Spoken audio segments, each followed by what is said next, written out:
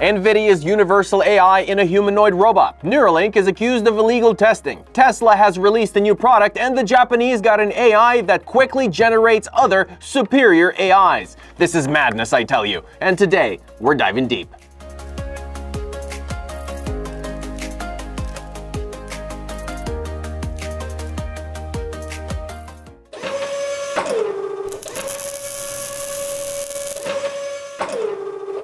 But first, previously we announced a raffle with the grand prize of $50 in the form of a gift card and we got a winner. Watch this video to the end to find out who it was because maybe it was you. And stick around for more videos to participate in our next giveaways.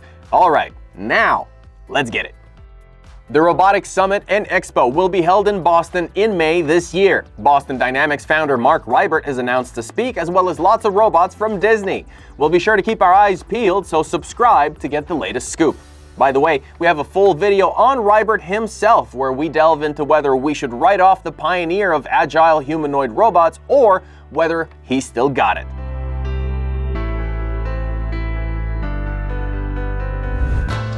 Startup Apptronik has become the first humanoid robot developer to integrate its Apollo with NVIDIA's project Groot Universal AI. This will allow developers to use text, video, and human demonstrations as cues for the robot to complete tasks.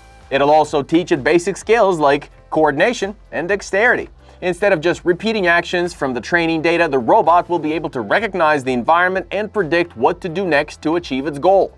If everything works as intended, we can expect stunning videos of the robot's new skills from Apptronik soon. Perhaps it will really start doing something useful at the Mercedes factory, where Apptronik has already put its name on the dotted line.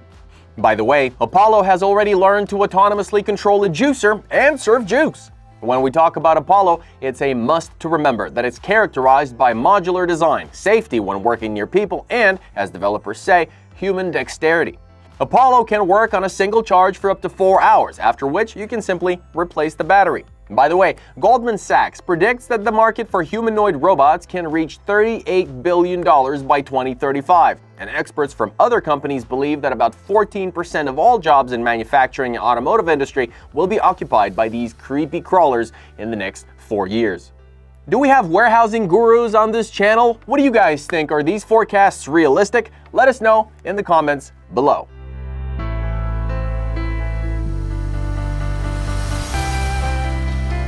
Just when we thought Neuralink is in the clear with the chip in its first volunteer, something unexpected jumped out of the woodwork. Earl Blumenauer, Democratic U.S. representative, decided that the FDA gave the company permission for human experiments too early and based on unclear grounds, ignoring the disturbing evidence of animal testing violations reported back in 2019. In other words, Congressman Blumenauer suspects the agency issued the authorization illegally, which means the implantation was also illegal. He is now demanding an explanation from the FDA. Specifically, Congressman Blumenauer cited Reuters reports describing employee complaints of cutting corners during animal experiments due to an intense schedule, causing unnecessary suffering and deaths of test monkeys. The employees were also concerned about possible problems with the quality of the experiments and the rigidity of the results. For its part, an FDA spokesperson said that during its review, the agency found no violations at Neuralink that could undermine the safety of the research. What do you think? Were there any irregularities? And if there were, what's a couple of monkeys for the greater good, right? Or is this a smear campaign on Musk because of whatever he's doing?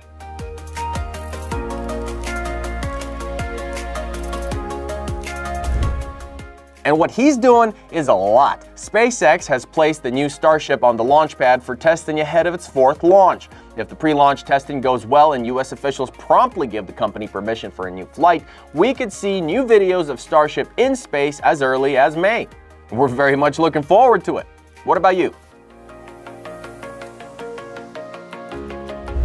Tesla's electric cars and humanoid robots will move to private 5G networks, which the company plans to build itself. The corresponding job openings appeared on Tesla's website. The networks will connect server infrastructure objects and terminal devices, which will be electric cars of all produced models, as well as Optimus. 5G will allow devices to move information faster, and by the way, Chinese electric cars are already actively using 5G, but the infrastructure is already in place in China. If you want to know more, check out the link in the description to see that video.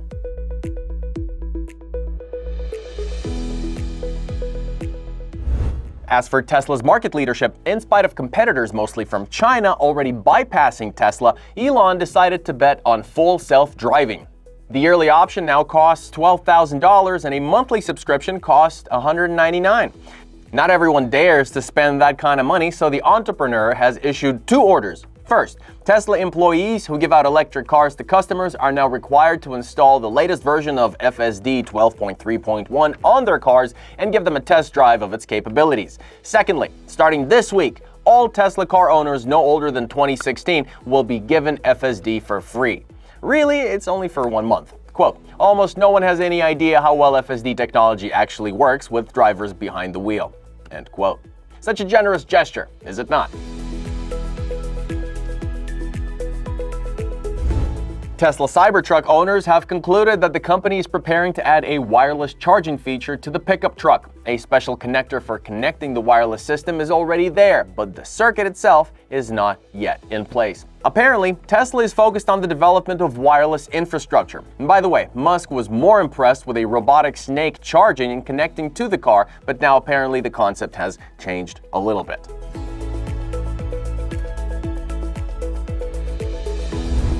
And last but not least, Tesla has released a Cybertruck-style sledgehammer. A total of 800 sledgehammers will be available through a referral program. Their purpose is apparently to test the Cybertruck's frame.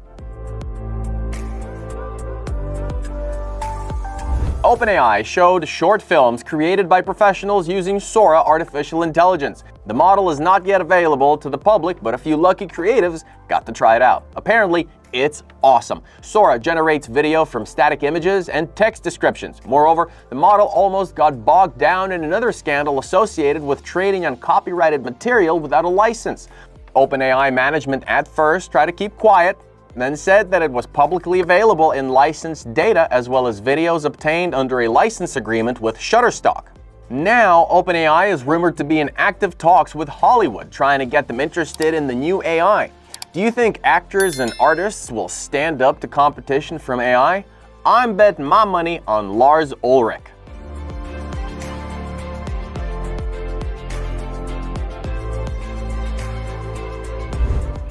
Japanese startup Sakana AI has developed an algorithm that creates new AI model architectures in an evolutionary way. That is, it selects the best elements of existing models and assembles new, more efficient ones from them. The AI is then tested for viability and weeded out if it doesn't live up to expectations. This is a kind of a natural selection in the world of AI, when the model that has the best qualities of the sources or, if you will, parents, survives.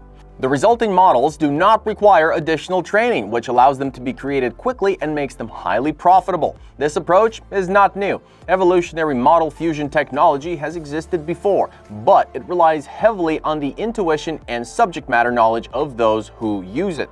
Sakana AI, on the other hand, promises a more systematic approach and the creation of the most efficient models possible. In tests of the evolutionary method, the researchers created a large Japanese-based language model capable of solving math problems and a large visual model. Both models showed high levels of performance on a number of standard tests, even though they were not pre-optimized for them.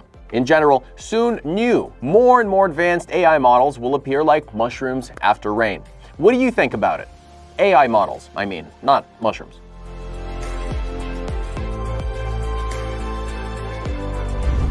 A company from Saudi Arabia, QSS AI and Robotics, has unveiled its new humanoid service robot, Sarah. She can both talk and avoid taboo topics such as politics to maintain decorum. To hedge against surprises for sure, the company didn't add GPT, but developed its own language model. The robot speaks Arabic and English, successfully recognizes and interprets speech, and responds within the bounds of decency. Just our two cents, don't connect it to a Call of Duty server.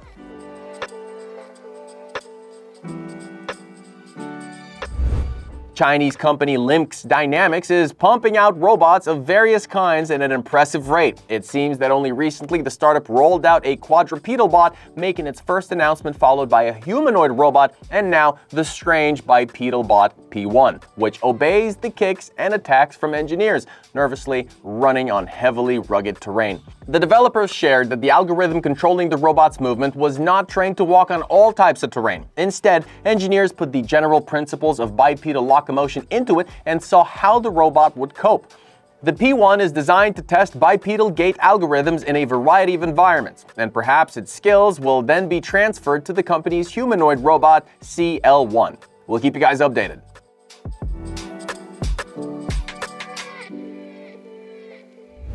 Remember we told you about an unusual concept from Xpeng AeroHT, a six-wheeled electric SUV with a full-fledged aircraft in the trunk?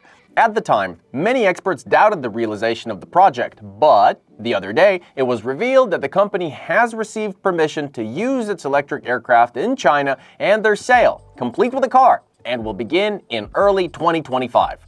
The cost of this package will be approximately $150,000 or why not just maybe get a Porsche 911 GTS?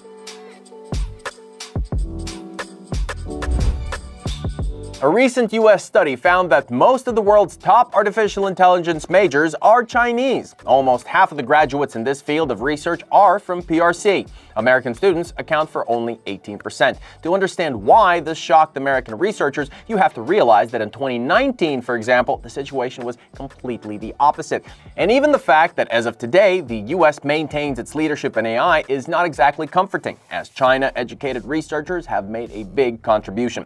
If we go back to the numbers, the Chinese make up 38% of the top AI researchers working in the US, while Americans 37%, which speaks volumes about the industry's heavy reliance on Chinese scientists. And by the way, if earlier the Chinese who were educated in America almost entirely preferred to stay there, now there is a trend to return to their homeland after their studies.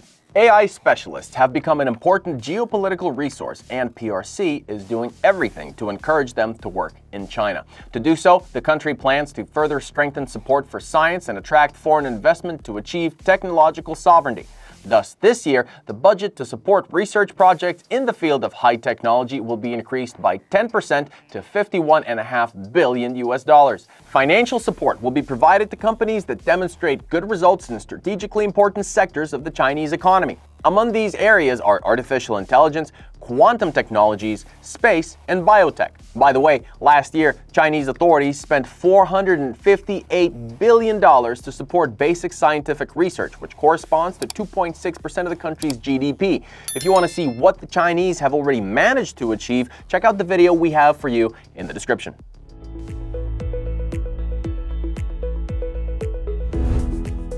Milad Shafi, a robotics engineer from École Polytechnique de Lausanne, showed a video demonstrating a unified mobility policy for four-legged robots of any height, weight, and design. The discovery will help researchers and robot dog designers, but we're just enjoying the psychedelic spectacle, really. Japanese engineers are developing a method for robots to recognize continuous changes in the state of food and they're testing it on one of the oldest humanoid robots, PR2. The fact is that in the process of cooking, the appearance, shape, and properties of foodstuffs constantly change. Think scrambled eggs. Describing these changes with manual programming is too difficult, plus it's not cool to do it manually. What is needed nowadays is for a robot to be able to recognize and adapt to all the changes on its own thanks to the built-in AI. Therefore, researchers decided to teach the robot to recognize changes through spoken language. Using pre-trained large language models capable of taking in both text and image as inputs. The engineers also ranked the weight of each textual cue and performed black box optimization to achieve accurate recognition. All in all, the scientists say the method works, waiting to be implemented in humanoid robots so they can finally get to cooking.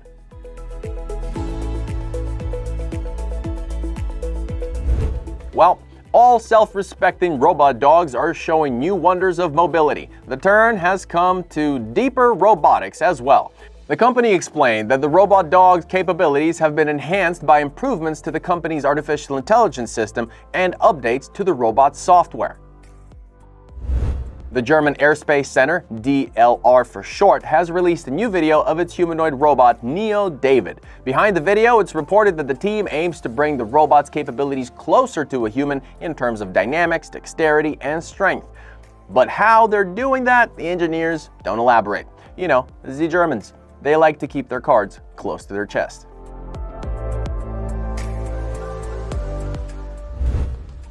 Engineers from MIT decided to bestow robots with common sense using generative artificial intelligence. They used an approach in which the bot breaks down any tasks into smaller subtasks, and if something changes in the process, the robot doesn't start over, but picks the appropriate subtask from a library, similar to how GPT picks the most appropriate next word in a sentence. In this experiment, the developers mixed up the manipulator, preventing it from accomplishing the task at hand, and the robot, instead of returning to the starting point, recognized its work on the fly. So far, it's unclear from what was published how versatile this approach is, what training it requires, and how quickly it can be applied to other tasks. But like many others, the team is aiming to create universal AI, and, well, good luck to them.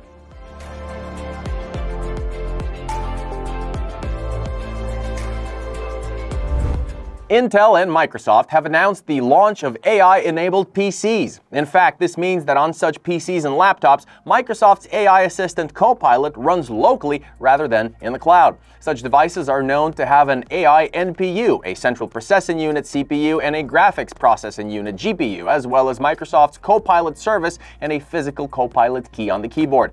The companies have already announced that these are the computers of the future, or rather, early versions of them. Intel plans to make significant changes for the processor architecture and has already announced support for 300 new features aimed at optimizing the AI experience.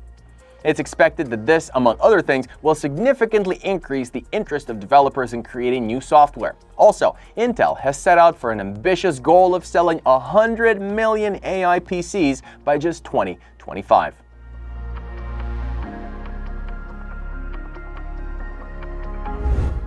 And the Slovakian developer of the flying car Aircar Klein Vision sold the license for its production to a Chinese company, Hebei Jianxin Flying Car Technology. The reason is simple. No one in Europe wanted to take on this production. This, in turn, also has a reason. In our opinion, it's the vague prospects for flying cars in the EU. There's no legislation, no infrastructure, and most importantly, no understanding of when it will actually appear. Meanwhile, in China, all of this is in the works. To be fair, it should be noted that the Chinese company is one of the founders of Klein Vision. As for the car itself, getting around on the ground, it's a regular petrol sedan with 160 horsepower BMW engine. All of the flight equipment is foldable and even partially removable. The transformation takes a few minutes, but the air car needs a runway, making it much more difficult to use in the city. Production is reportedly set to begin soon, and we'll see if the car actually manages to compete with vertical takeoff and landing vehicles from EHang and XPeng. There's more, but we're out of time, so this is the part where we announce the winner of our previous giveaway. As always, to participate, you had to subscribe to our YouTube channel and follow us on Instagram. And B, answer the following question. According to the popular song, how many bicycles are there in Beijing? And the answer is, there are 9 million bicycles in Beijing.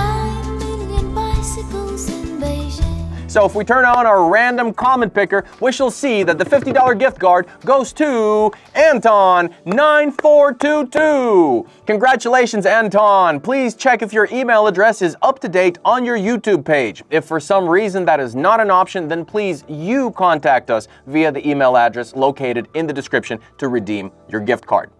Thank you so much for participating, everybody. Anton, one more time, congratulations. Otherwise, subscribe to the channel, like our videos, and stay tuned for more from the world of high tech.